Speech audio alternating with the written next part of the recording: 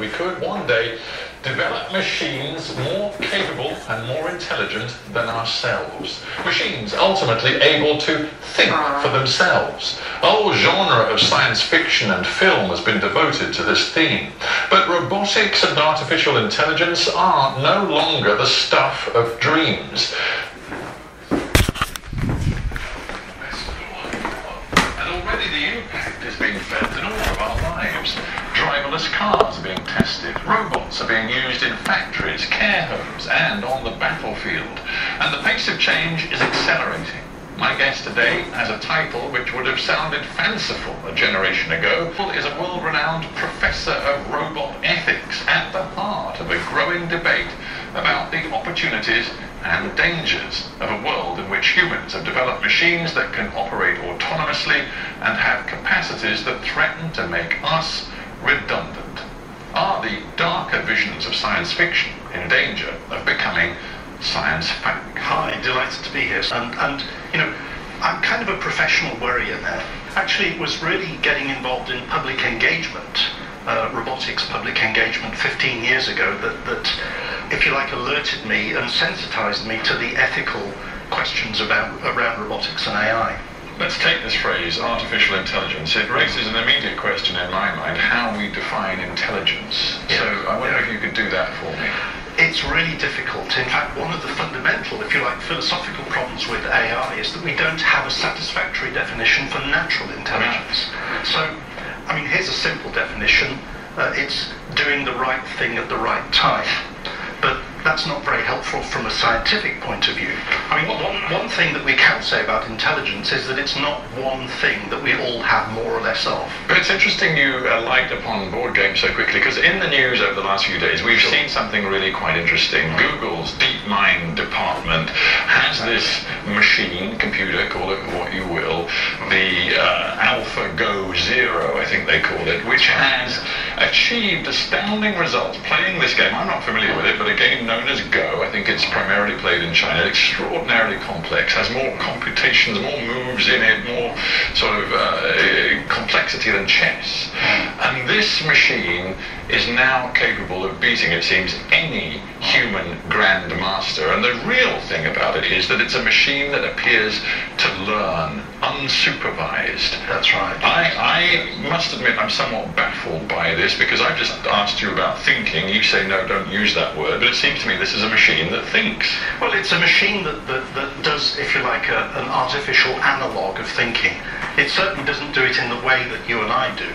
Um, the, the, the technology is based on what are called artificial neural networks, uh, and they are, if you like, an abstract model of uh, biological networks, neural networks, brains, in other words, which actually we don't understand very well, uh, curiously. But we can still make very simple abstract models, and, and that's what uh, the technology is. But the, the way to think about the, the, the way it learns, and, and it is a remarkable breakthrough. I mean, it's, it's, I don't want to overhype it because it only plays Go. It can't make a cup of tea, you know. but, but the very interesting thing is that the earlier generations effectively had to be trained on data that was gleaned from human experts and, and many, many games of. It had to be loaded with external information. that- that's right. And that was what we call supervised learning, whereas the, the new version is doing unsupervised learning. We actually, technically, we call it reinforcement learning. So the idea is that the machine is, is given nothing else than the, if you like, the game, the, the rules of the game, and and then it just plays essentially against itself millions and millions of times. It's a bit like a human infant learning um, how to play with building blocks, Lego, entirely on his or her own by just learning over and over again. Because humans don't actually learn like that. Mostly we learn with supervision, with, with, with you know, parents, teachers, brothers, sisters, family, and so on. But it's interesting you are prepared to use a word like learning. Thinking you don't like learning, you're prepared to uh, apply Yes, to a machine. I think it, What I want to get to that's right, yes. Good. And and what I want to get to, before we go into the specifics of driverless cars and autonomous fighting machines and all that, I still want to stay with big picture stuff. And, and part of the problem, part, part of the reason that it's so difficult is that we don't actually have the design, if you like, the architecture of human minds. But in principle, you think we can get it? Because what I'm driving at Yes, really I is don't- this principal philosophical question of what the brain is. To you, Yeah. Professor, is the brain, in the end, chemistry? Is it material? Is it a lump of matter? Yes. It, it doesn't have any sort of spiritual or any other intangible thing. It is chemistry. In my view, well, I'm a materialist. Yes, the, the brain is thinking meat. Um, and Yeah, but that, that, that's a bit of a cop-out. Because you've added thinking meat. It's, Yes. it's meat, and the way that meat is arranged means it can think. Exactly. So you could create something artificial, which if it were as complex and as well arranged as human capacity could make it one day, it could also think. I believe in principle, yes. I mean, but, but the key thing is architecture. And, you know, in a sense, um, I mean, the way, the way to think about the, you know, the current work on artificial intelligence, we have these artificial neural networks, which are almost like the, if you like, the, the building blocks. So it's a bit like having marble, you know, but having, just having a, a lot of, of wonderful Italian marble doesn't make, mean you can make a cathedral.